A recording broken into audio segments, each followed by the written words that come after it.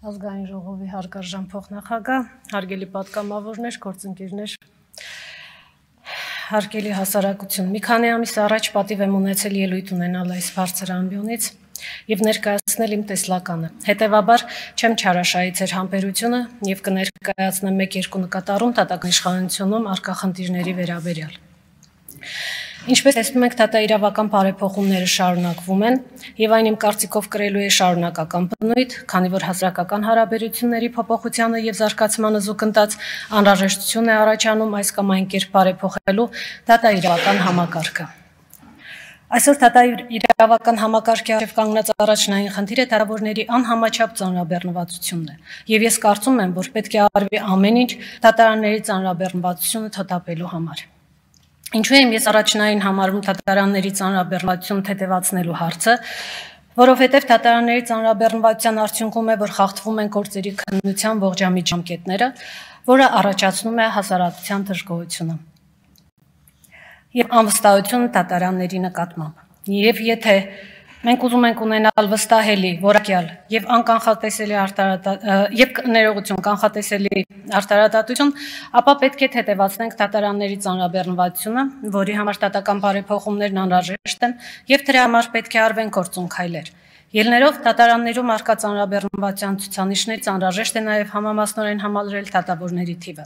Բայց միայն դատավորների քանակի ընդլայնման խնդիրը չի լուծվում։ Անհրաժեշտ է նաև գործուն քայլեր ձեռնարկել դատական դատարան մուտքագրվող գործերի քանակը նվազեցնելու ուղղությամբ։ Ինչպես կարելի է բեռնաթափել դատարանների ծանրաբեռնվածությունը, կարծում եմ, որ օրենսդիր մարմինը նույնպես օրենսդրական նախաձեռնություններով հանդես գա, որպեսզի դատարանները, մանավանդ քաղաքացիական գործեր քննող դատարանները կարողանան իրականացնել ստանձնել իրենց առաքելությունը։ Այս հարցում կարևորություն եմ տալիս արտադատական կարգով վեճերի լուծման կարգավորմանը։ Իհարկե օրենսդիրը նախատեսել է բազմաթիվ վեճերի լուծման արտադատական կարգ, սակայն չկան դրանց կիրառման լծակները։ Հարկ է նկատել նաև, որ որոշ պետական եւ տեղական ինքնակառավարման մարմինների կողմից իրենց առաքելությունն ու գործառույթները բարեխիղճ եւ օրենսդրությանը համապատասխան իրականացնելու դեպքում զգալիորեն կնվազի դատարան մուտքագրվող գործերի քանակը։ Հետևաբար անհրաժեշտ է հետևողականություն դրսևորել պետական եւ տեղական ինքնակառավարման մարմինների աշխատանքի նկատմամբ։ Նշված հարցերի լուծման համար շատ կարեւոր է օրենսդիր գործադիր եւ դատական իշխանությունների համախմբված աշխատանքը։ Քաղաքացիների ակնկալիքները դատարաններից մեկն է։ Գործի արտար, անկախ եւ անաչար քննություն կատարելը, օրենքի արժեվ հավասարության ապահովումը։ Անկախությունը դրական իշխանության անօտարելի հատկանիշներից է, ինչը փոխում է իրավունքի գերակայության եւ այն անձանց շահերից, որոնք օգտվում են արդարադատությունից եւ ակնկալում են ստանալ այնպիսի վերջնական լուծումներ, որոնք ամփոփված կլինեն արդարադատության փոխանդակված դատական ակտերում։ Այսօր դատական համակարգի արժև ծառացած արկա մարտահրավերները դրանց հաղթահարման ռազմավարական ճանապարհները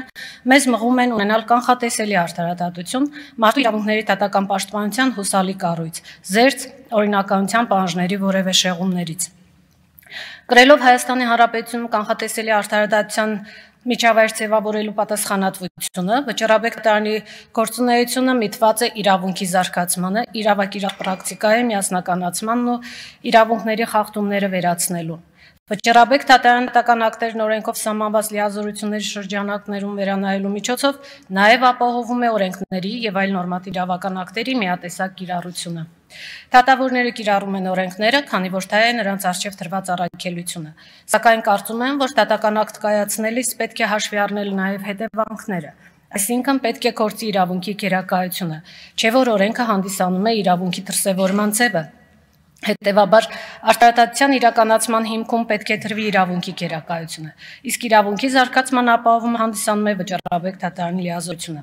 Վճռաբեկ դատարանը կայացրել է բազմաթիվ նախադեպային որոշումներ, որոնք ըստ էության ուղենշային են դարձել միևնույն փաստական հանգամանքներով այլ գործերի քննության համար։ Սակայն կան իրավահարաբերություններ, որոնցով դեռևս օրենքի միատեսակ կիրառության ապահովման անհրաժեշտություն կա։ Հասարակական հարաբերությունների զարգացմանը զուգընթաց այն կրելու է նաև շարունակական քաղաքական բնույթ։ Շուրջ 11 տարի եւ ավել աշխատում եմ առաջինացիան դատարանում եւ առնչվել եմ օրենքների բազմաթիվ տարաբնույթ մեկնաբանությունների, որոնք հստակեցման անհրաժեշտություն ունեն Հետևաբար պատրաստակամ եմ իմ երկարամյա աշխատանքային փորձն ու գիտելիքները ներտնելու բարձրակույն դատականացիանում դատավորի համանadrական առաքելությունն իրականացնելու գործում։ Շնորհակալություն, եթե հարցեր կլինեն, կպատասխանեմ։